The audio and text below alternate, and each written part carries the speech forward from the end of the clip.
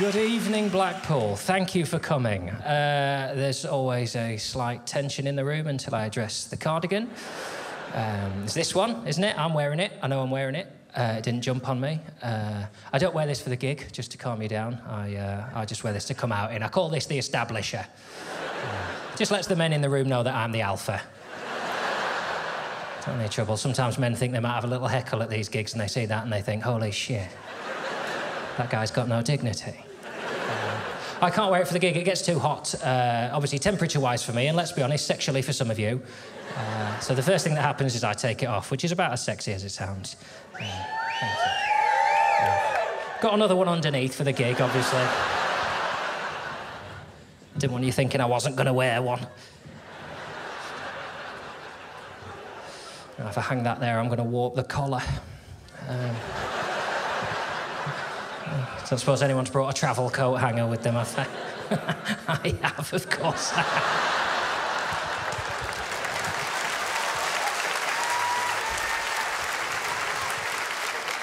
well, let's hang it that way. Turn it round so you get the benefit. Had to wait for a man to die to get that cardigan, so might as well get my money's worth. By which I mean I bought it from a charity shop. I didn't see him wearing it and just follow him until he gave up. Well, I say what, Blackpool, if you're going to applaud a coat hanger, you just might have a good evening tonight. That, that hopefully is not the highlight of the show. Uh, the show's called The Old Man for, for obvious reasons. Uh, I'm a cardigan wearing gentleman. Uh, I wear them all year as well, in case you're wondering. I'm not one of these Christmas dicks. Put one on for a Wetherspoons pub crawl and think you've got a personality all of a sudden. wear mine all year round. There's a number of other things that make me an old man. Uh, I play Countdown for a living. Don't quite how I'm getting away with that. Uh, I always know where the nearest toilet is. I secretly prefer to use my own, which obviously makes touring quite difficult. Be away for weeks sometimes, saving it up. Inside, obviously, I don't shit in envelopes and keep them in the car door. Chronological, if you're interested. You've got to have a system when you file in imaginary shit in an imaginary car door. Uh, I also have a general loathing for uh, society, I'm already at an age where I'm baffled by sort of new things. I went to get my hair cut recently, which I do as rarely as possible. I don't like being touched, um, and as yet, the technology isn't there for it to be done online. So, got to go to a hairdresser's, haven't you? I tend to sit like that in the chair, you know, like you do at the dentist, just because I find if you sit like that with your arms out, their balls keep touching.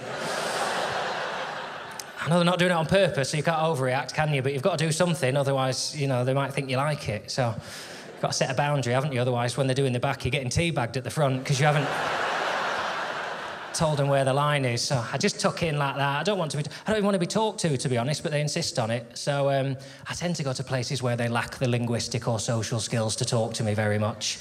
Uh, ideally, both. Uh, angry Eastern European men, that's my dream haircut.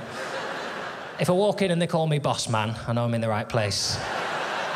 don't want a cup of tea, I don't want to be your friend, I just want to open the door and hear, boss man, sit. Right, good.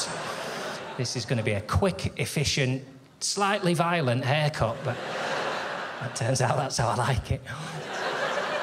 You know, they grab your head a little bit too tight and then they dig the clippers in at the back and you think, oh, I'm a dirty boy. Should have cut my own hair bringing this filth in here. You want gel? Spit on me. you can't get too into it. The, the, the, kind of haircut I'm talking about, £8, keep the 10. That's the kind of haircut I'm talking about. I used to call them £8 just the one back, but they don't like that. Uh, so, and the only problem with that kind of haircut is the haircut itself, which is very often appalling. Uh, I had some absolute stinkers, I really have. I had one, it was all uneven on the top. He went to do the back there with the clippers. Now, I'll take some of the blame for this. I've got quite a small head, but quite a hunched back. And I think the perspective got to him.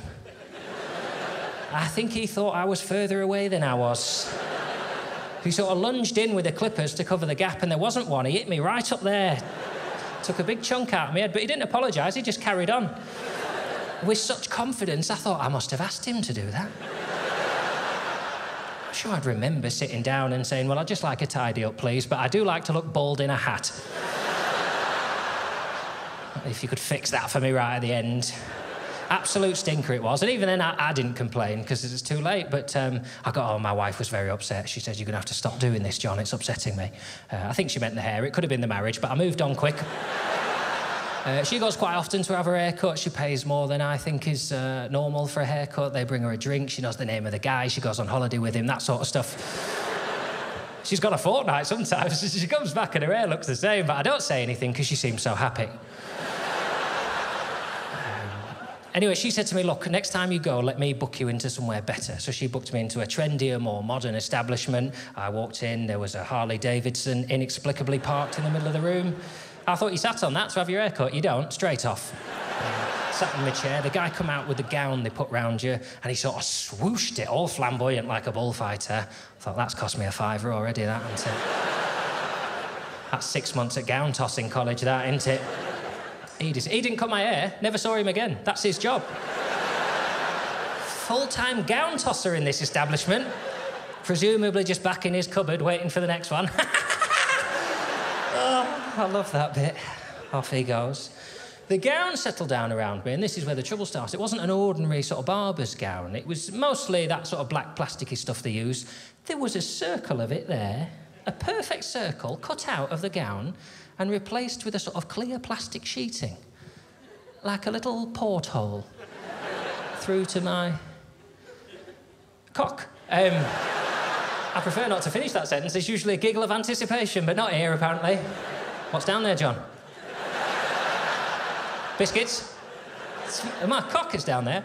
Um, and my balls, I keep them together. Although less and less as I get older, to be honest. Um, no, my, my, my, thing's down there, and it really sort of, you see a window, you can't help but look through it, can you? It really drew focus to an area I try and keep private, you know. Further than that, I say, I don't even like him, you know, we've never got on. Um, the use I get out of him, I really resent having to carry him everywhere. It happens so rarely, and yet he's there all fucking year dangling around. Be a bit like carrying your Christmas decorations in a backpack all year you're ready if Christmas breaks out in June, but it rarely does. It'd be more useful to me if I could take it off and just put it away, you know. My wife could say to me, I think we'll have sex tonight. I'll say, fantastic, I'll get my cock out. Where did I put it? Garage or loft?